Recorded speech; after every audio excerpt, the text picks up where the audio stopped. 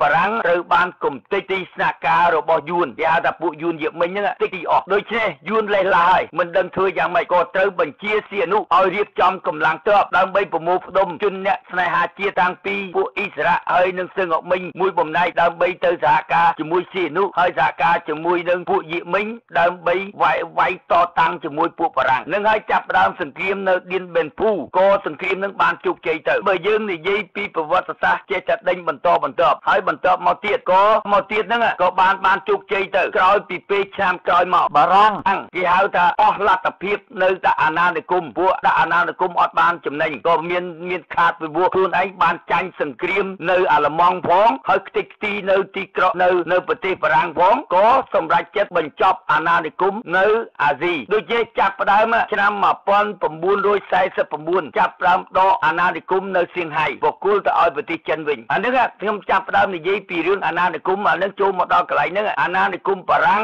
ដូចជាក៏ចាប់ផ្ដើមបកគលទឹកដីយួនឲ្យទៅយួនវិញតែចន្លោះហ្នឹងបងប្អូនទៅចាប់អារម្មណ៍បារាំងបកគលទឹកដីឲ្យទៅយួនវិញពីព្រោះយួនក៏នៅក្រោមអាណានិគមបារាំងហើយខ្មែរក៏នៅក្រោមអាណានិគមបារាំងតើយើងសូមសួរថាហេតុអីបានបារាំងទៅកាត់ទឹកដីខ្មែរទៅឲ្យយួនតើបារាំងមានសិទ្ធិទេបើយើងនិយាយត្រឹមអាណានិគមចំណុចកន្លែងហ្នឹងឲ្យបងប្អូនយើងចាប់អារម្មណ៍ហើយយើងសូមសួរថារយៈកាលកន្លងមកមកទល់នឹងសប្តាហ៍តើបងប្អូនមានដែរទៅឆែកប្រវត្តិថាទៅទៀមទាទឹកដីកម្ពុជាក្រោមទេយើងមើលទុកសោកវេទនាដែលយួនធ្វើបាបខ្មែរយើងមកទល់សប្តាហ៍ហ្នឹងតើគេបិទបាំងប្រវត្តិសាស្ត្រទាំងអស់កន្លែងហ្នឹងឲ្យបងប្អូនយើងចាប់អារម្មណ៍មែនទេចន្លោះពេលហ្នឹងឆ្នាំ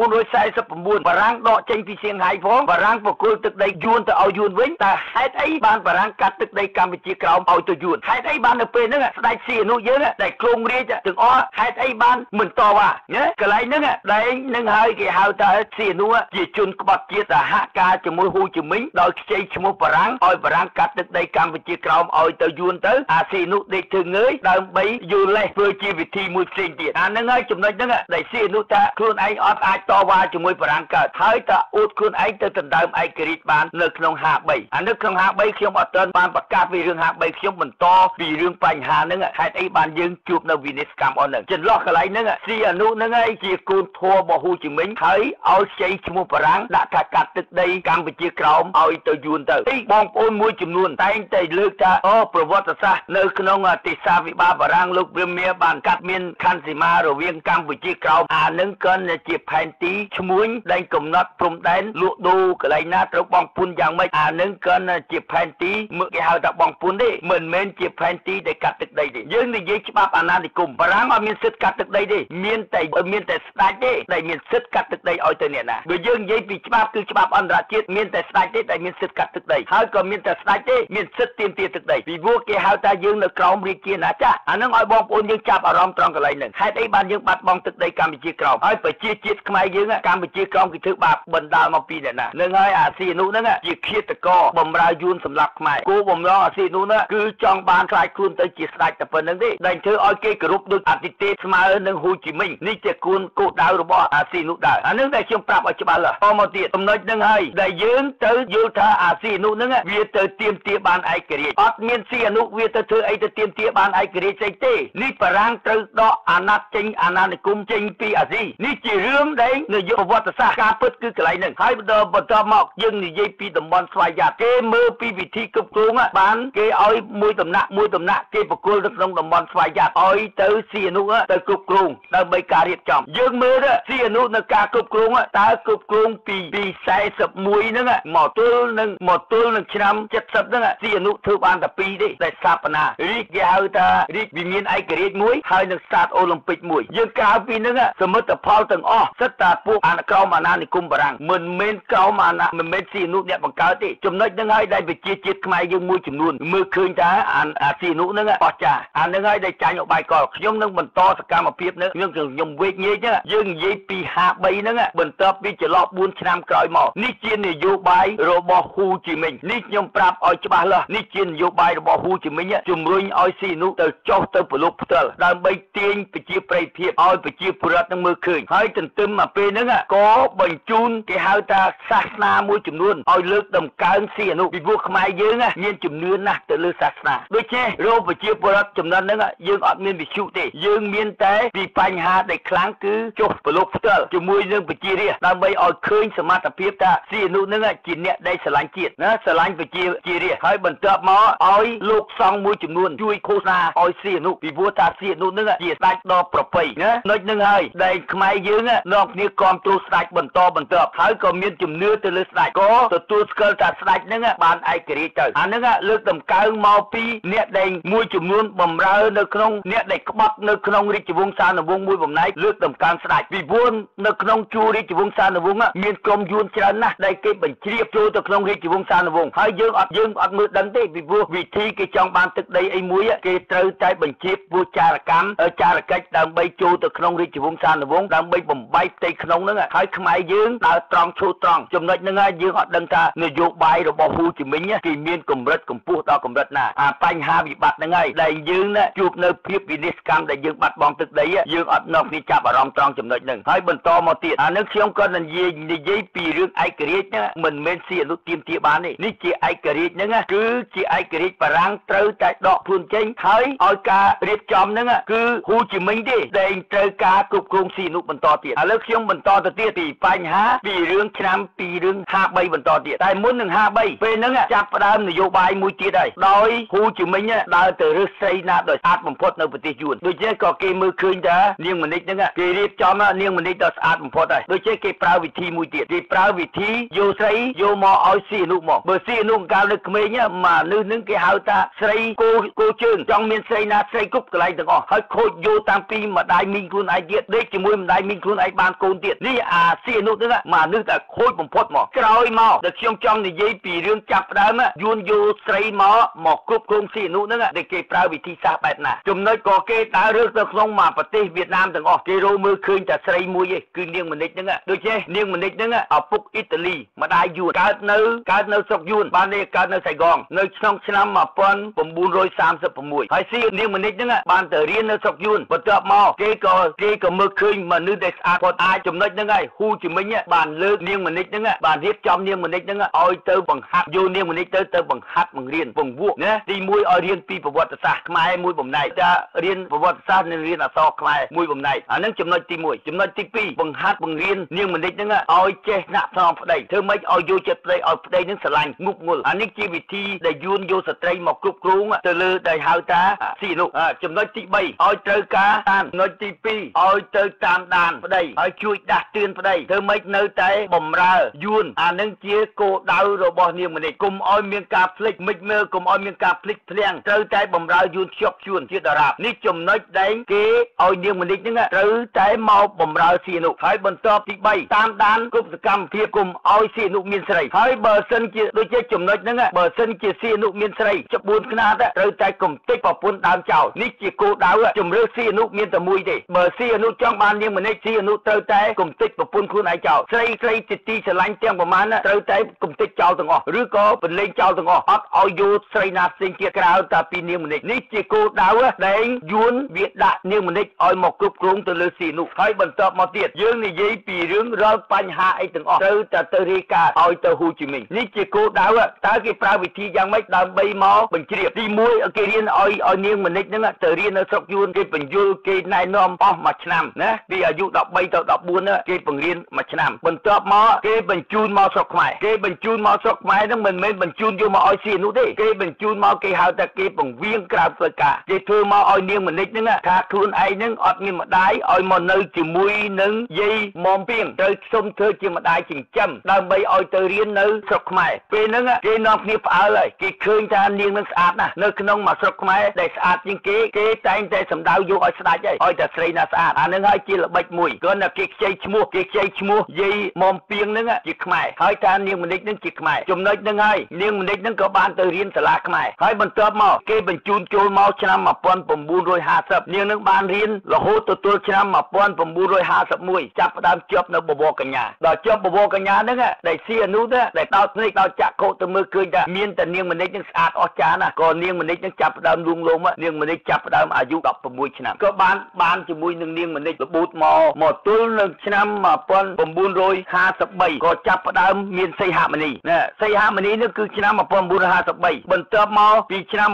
1954បានហៅថាមានណារិនត្រាពងហ្នឹងបន្តមកទៀតដូចជាចំណុចហ្នឹងយើងត្រូវតាមដាននៅក្នុងប្រវត្តិនាងមនិចហ្នឹងគឺជាជាចារកិច្ចរបស់យួនដើម្បីឲ្យមកសហការជាមួយនឹងស៊ីអនុដើម្បីមកគ្រប់គ្រងស៊ីអនុបំរើគេហៅថាបំរើយួនសម្រាប់ខ្មែរគ្រប់ចរន្តនយោបាយពេលហ្នឹងចាប់ផ្ដើមសម្រាប់វិរៈជនខ្មែរយើងហើយឥឡូវចាប់ផ្ដើមសម្រាប់វិរៈជនខ្មែរយើងហើយអ្នកណាក៏ដោយឲ្យតែហ៊ានតវ៉ាជាមួយស៊ីអនុស៊ីអនុចាប់ផ្ដើមកំទេចចោលហើយអានឹងបញ្ហាហ្នឹងយើងយល់ពីឥឡូវដល់ពេលហ្នឹងហ៊ូជីមិញចាប់ផ្ដើមឲ្យញុះញង់ខាងលិចឲ្យយើងភ្លេចខាងកើតញុះញង់ខាងលិចយ៉ាងម៉េចពេលហ្នឹងឆ្នាំ1960ណាពីចន្លោះពី53មកទល់នឹង60ចន្លោះពេលហ្នឹងឲ្យស៊ីអនុធ្វើជាប្រជាប្រិយភាពចុះទៅធ្វើការចុះទៅហត្ថកម្មណាដើម្បីបង្ហាញប្រជារាស្ត្រទាំងអស់ថាស៊ីអនុហ្នឹងជាមនុស្សដែលហៅថាមានមានចិត្តស្នេហាជាតិអ្នកដែលស្រឡាញ់ជាតិនៅក្នុងចន្លោះពី53មកទល់នឹង60ហ្នឹងអានឹងបង្ហាញប្រជាប្រជារាស្ត្រចន្លោះពេលហ្នឹងក៏បញ្ជូនសាសនាបញ្ជូនសាសនាអ្នកដែលសង់មួយចំនួនជាសង់ចារកិច្ចរបស់យួនឲ្យជួយឃោសនាឲ្យស៊ីអនុផងពីព្រោះសម័យហ្នឹងយើងអត់មានវិសុអត់មានទូទួបញ្ហាហ្នឹងហើយដែលឲ្យជួយឃោសនាឲ្យអានឹងឲ្យបងប្អូនយើងចាប់អារម្មណ៍លោះហើយអ្វីក៏ដោយដែលស៊ីអនុចុះទៅបានសង់លោកសង្ឃហ្នឹងខាងសាសនាពុទ្ធជួយឃោសនាឲ្យស៊ីអនុផងហើយស៊ីអនុគេដើរធ្វើជាវិជាប្រិយភាពចុះទៅដូចជាខ្លួនឯងចុះទៅទូងណាចុះទៅកន្លែងអភិវឌ្ឍខ្លះដែលចុះទៅអាហ្នឹងហើយដែលបងប្អូនបានមើលឃើញក្នុងคลิปដែលគេដកមកបង្ហាញថាអូស៊ីអនុហ្នឹងចុះទៅសហការជាមួយនឹងវិជារាជថាខ្លួនឯងនឹងស្រឡាញ់អាហ្នឹងហើយជានយោបាយដើម្បីជាវិជាវិកតឲ្យ វិជារាជអត់បានចាប់អារម្មណ៍អត់ដឹងថាស្ដេចហ្នឹងគឺជាស្ដេចយួនលើកតបឡើងថ្ងៃដែលយើងជួបនៅវិនិច្ឆ័យកម្មមកទល់សពថ្ងៃហើយបន្ទាប់មកឆ្នាំពីចន្លោះឆ្នាំ1953មកទល់នឹងឆ្នាំ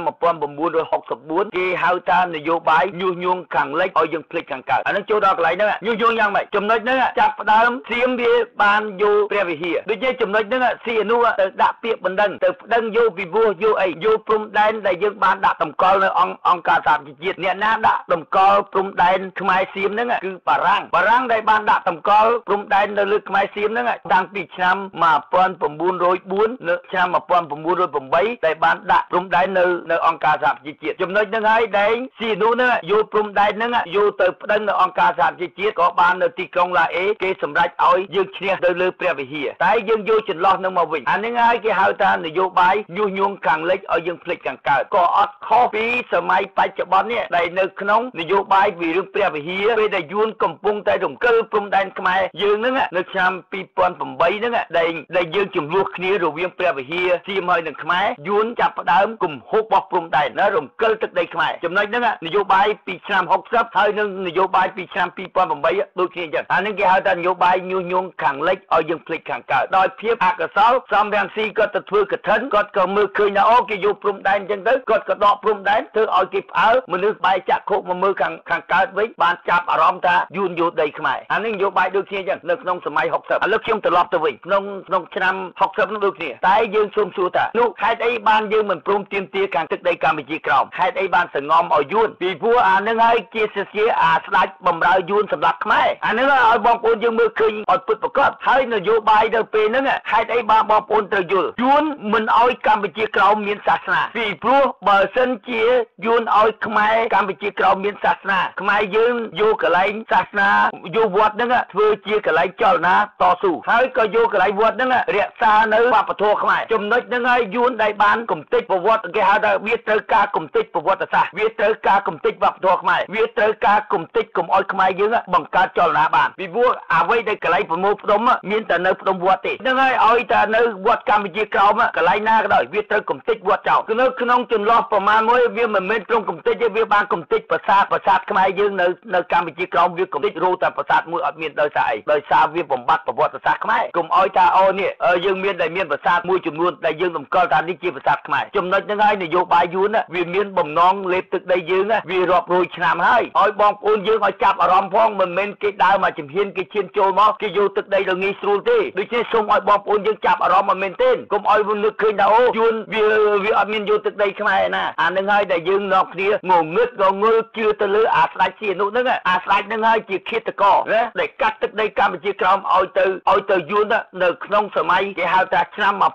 1949រហូតមកទល់សប្តាហ៍នេះខ្ញុំបញ្ជាក់ប្រាប់ឲ្យច្បាស់លាស់អាហេតុអីបានវាបំបត្តិសាសនានៅកម្ពុជាក្រោមតែវាបង្កើតសាសនានៅកាន់កម្ពុជាកណ្ដាលហើយវាក្នុងវាចូលមកវាបង្កើតឲ្យសាសនាហ្នឹងមានពីរមានមានបយួនឲ្យតែអ្នកណាក៏ដោយដូចយើងនិយាយទេពវងយូអកេយូអកេគឺជាអ្នកដែលសាសនាខាងសៀនុជួយតម្កើងស៊ីនុលើកតម្លៃស៊ីនុហើយអាទេពវង្សវាជាវាជាអ្នកសាសនាបំរើយួនតែវាបង្កើតនៅស្រុកខ្មែរតែវាកំតិចនៅនៅកម្ពុជាក្រោមនេះជានយោបាយដើម្បីយកទឹកដីដូចជាខ្ញុំចង់បញ្ជាក់ប្រាប់បងប្អូនយើងឲ្យច្បាស់លាស់បើសិនជាវាយកទឹកដីកណ្ដាលយើងមិនបានទេក៏វាយកទឹកដីកម្ពុជាក្រោមអត់បានដែរដូចជាវាប្រើវិធីគ្រប់បំណែកទាំងអស់រហូតមកទល់សប្តាហ៍យើងគ្មានអ្នកណាអាចទម្លុះអាកំបាំងហ៊ូជីមិញបានទេតែអៀកំសេងចាប់ផ្ដើមទម្លុះអាកំបាំងរបស់ហ៊ូជីមិញហើយទម្លុះឲ្យបានច្បាស់លាស់មកហូតមកទល់នឹងសម័យកាលបច្ចុប្បន្នដូចជាយើងដើរវាចូលនៅក្នុងឥឡូវខ្ញុំនឹងបន្តពីបញ្ហាហ៊ូជីមិញចាប់ផ្ដើមយកទឹកដីខ្មែរយើងបន្តយ៉ាងម៉េចទៀតឥឡូវខ្ញុំនឹងចាប់ផ្ដើមបញ្ជាក់ទៀតក្រោយពីឆ្នាំ1962យើងបានជោគជ័យឈ្នះដោយអន្តរជាតិគេកាត់ព្រះវិហារឲ្យយើងពេលហ្នឹងអាស៊ីនុមានមោទនភាពអស្ចារ្យណាស់ពីព្រោះបានអីបានទៀមទាបានព្រះវិហារនយោបាយយួនចាប់ផ្ដើមជំរុញឲ្យស៊ីនុថែមទៀតហើយត្រូវរៀបចំកម្លាំងយើងត្រូវរៀបចំកម្លាំងណានឹងខ្ញុំក៏នៅសូមត្រឡប់ក្រោយបន្តិចឲ្យបងប្អូនយើងចាប់អារម្មណ៍ពីឆ្នាំ1955ស៊ីនុចាប់ផ្ដើមដាក់រាជទៅទៅឲ្យឪវិញបងប្អូនត្រូវយល់ត្រង់កន្លែងហ្នឹងក្នុងច្បាប់ស៊ីនុអត់វាមិនដែលកូនណាដាក់រាជឲ្យឪមានតែឪទេដាក់រាជឲ្យកូនតែហេតុអីបានខ្មែរយើងដាក់រាជឲ្យឪណាហេតុអីបានស៊ីនុដាក់រាជឲ្យឪនឹងហើយឲ្យបងប្អូនយើងចាប់អារម្មណ៍ពីរឿងនយោបាយកន្លែងហ្នឹងចំណុចហ្នឹងហើយដែលយើងអត់នាំគ្នាចាប់អារម្មណ៍ពីព្រោះស្អីគេហៅថាសារមរិទ្ធហ្នឹងគ្មានស្អីងាយអីជាស្ដេចទេដល់ហើយបានអាស៊ីនុហ្នឹងដែលយួនជួយលើកតម្កើងបានសារមរិទ្ធហ្នឹងคล้ายខ្លួនទៅជាជាស្ដេចនោះវាតាមតាមការពិតរាជវង្សានុវង្សវាមិនដែលកូនដាក់រាជឲ្យឪទេវាមានតែឪដាក់រាជឲ្យកូនអាហ្នឹងហើយដែលបញ្ជាក់ឲ្យឃើញថាតបញ្ជាក់ឲ្យឃើញថាខ្មែរយើងដែលយើងអត់នាំគ្នាវិភាគឲ្យដល់កម្រិតហើយយកឃើញថានេះជានយោបាយផងអ្នកណាហើយក៏អ្វីក៏គេនិយាយមិនក៏ចេះតែជឿឲ្យគេធ្វើមិនក៏ចេះតែតាមគេដែរដល់គ្មានការតវ៉ាដល់គ្មានការយល់ហើយក៏គិតតែពីលើតែជំនឿអាហ្នឹងឲ្យធ្វើឲ្យភាពងប់ងល់ឥឡូវខ្ញុំបញ្ច ប់ពីកន្លែងហ្នឹងហើយខ្ញុំបន្តវិធីសាស្ត្រដែលយួនចាប់ផ្ដើមជំរុញនយោបាយជាតិខ្មែរជំរុញនយោបាយសម្រាប់ជាតិខ្មែរចូលនៅលើចំណុចយ៉ាងក្រោយពីឆ្នាំ1962ដែលយើងបានព្រះវិហារពេលហ្នឹងហ៊ូជីមិញបានបញ្ជាមកឲ្យស៊ីនូចាប់ផ្ដើមនិយាយឆ្នាំ1960ឆ្នាំ1960ជំរុញឲ្យស៊ីនូទៅសហការជាមួយចិនហើយទៅសហការជាមួយសហការជាមួយនឹងកូរ៉េខាងជើងដើម្បីកុំឲ្យទំនាក់ទំនងជាមួយនឹងហ៊ូជីមិញកុំឲ្យពួកគេមើលឃើញថានេះជាអបាយកលរបស់ហ៊ូជីមិញដើម្បីបំភាន់មតិអន្តរជាតិមតិជាតិនិងមតិអន្តរជាតិដូចជាក៏ជំរុញស៊ីអនុឆ្នាំ1960ក៏បញ្ជូនទៅពេកាំងបន្ទាប់មកក៏ទៅកូរ៉េខាងជើងឲ្យទៅទំនាក់ទំនងតែជាមួយពីប្រទេសនឹងទេដូចជាអត់ឲ្យមកទំនាក់ទំនងជាមួយនឹងហ៊ូជីមិញទេនេះជាល្បិចកលដែលកុំឲ្យគេមើលឃើញថាយួនយកទឹកដីខ្មែរអុយមកប្រទេសខ្មែរហ្នឹងមើលឃើញថាយួនយកទឹកដីខ្មែរយ៉ាងយើងយ៉ាងម៉េចនេះជានយោបាយសាហាវណាស់កន្លែងហ្នឹងសូមបងប្អូនរងចាំស្ដាប់ភាគទី3ជាភាគបន្តបាទសូមអរ